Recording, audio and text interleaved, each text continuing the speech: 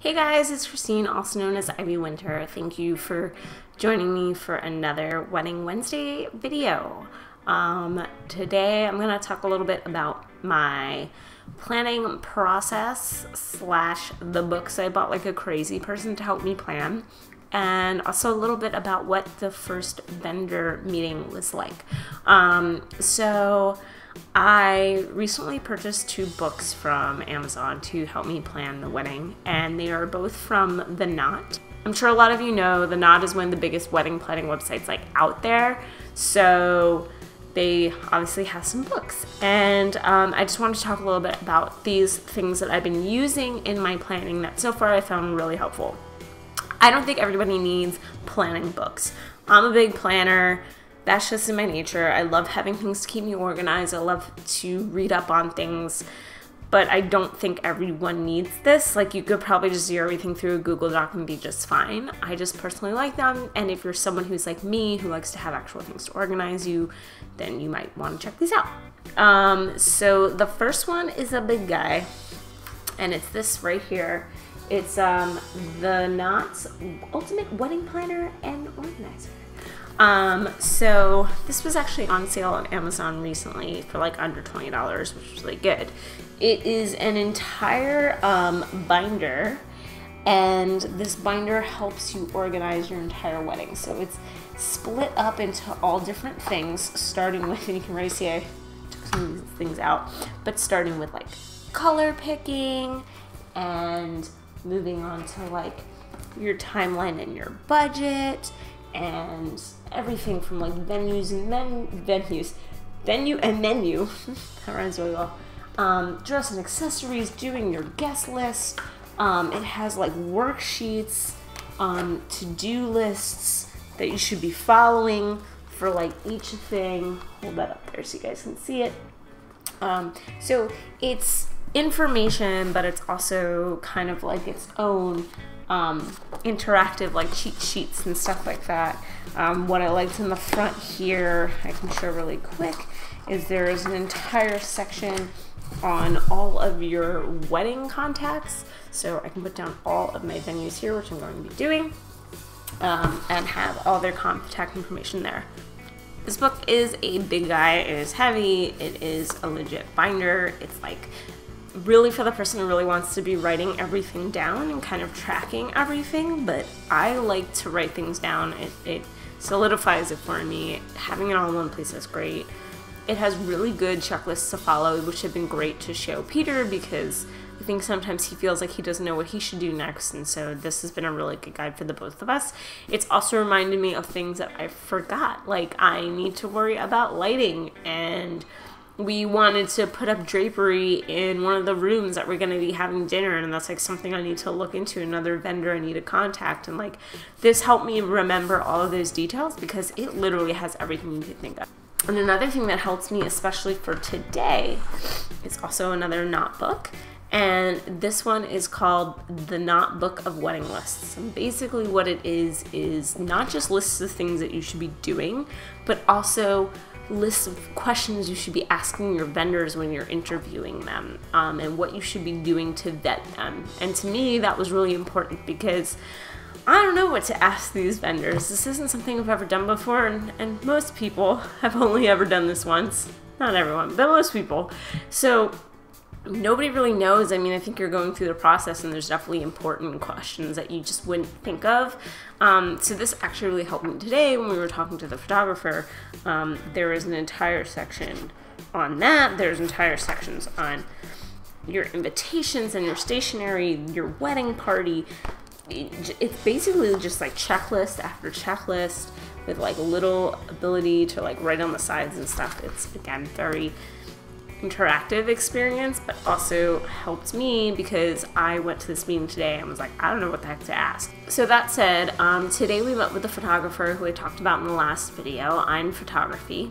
Um, I will include their link again below, but they were mentioned in my last video. I showed you guys like some of the stuff that they've done, and we absolutely love them. Um, we were really blown away by the work that they've done we were cool with the prices of the packages. In New York City, photography is definitely much more expensive than I would say most other places.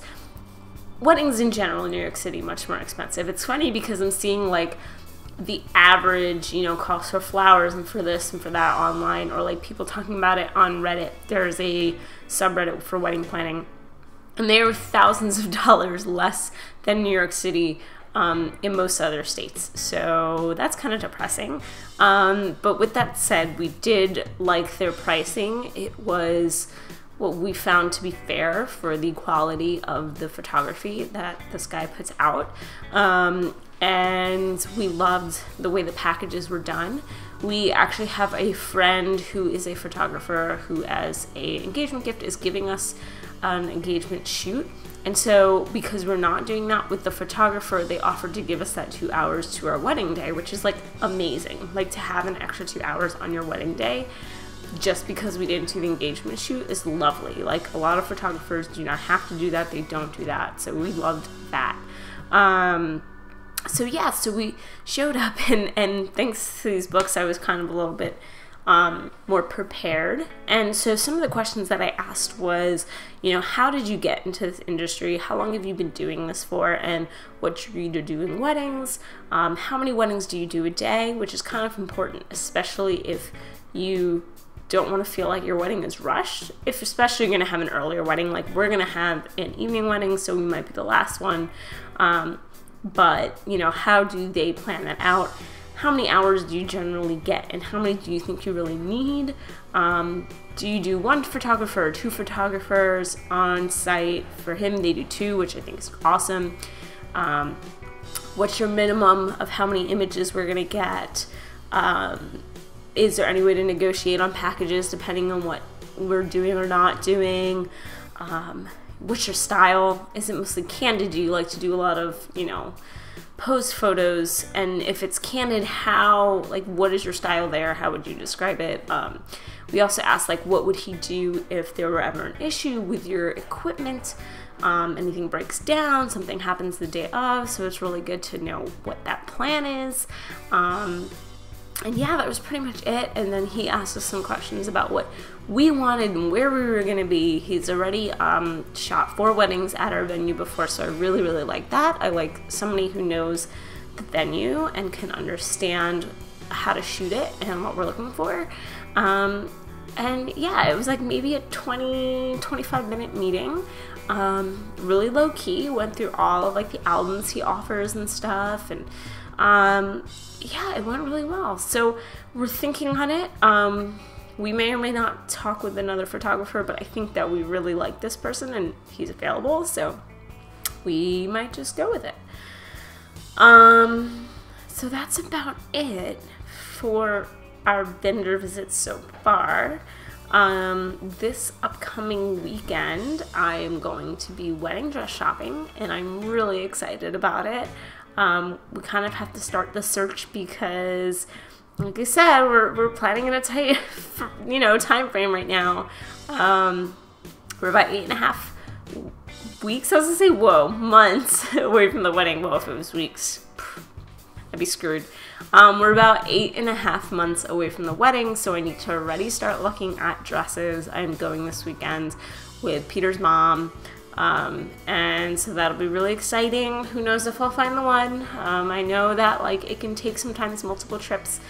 I do have another appointment scheduled on April 1st in case I don't find the one this weekend. Um, and then we're taking Peter's parents to see the venue. They want to see it themselves.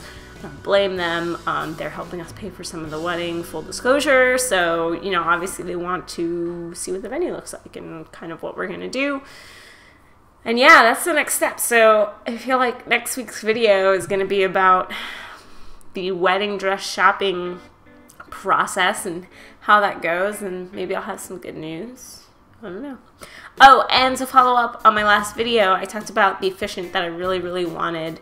Um, I reached out to her and she did my friend's wedding and I was hoping that she'd be available for my date. Well, she is. And she actually remembered me and Peter from my friend's wedding and she's like super excited to be the officiant of our wedding. So that is crazy exciting. We're going to be meeting with her sometime in the next month. She told us there's no real rush, but she'll make sure to hold our date.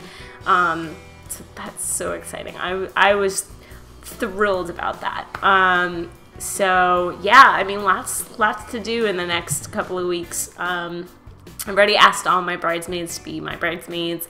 I asked um, my guy bridesmen to be in my party. So um, I'm having three women and two guys in my party on my side. I don't care about tradition. I'm close with them. I want them to be on my side. Um, so Rob of Rob Plays That Game actually is going to be one of my bridesmen. Obviously, how could he not be? Um, and my brother is going to be another one.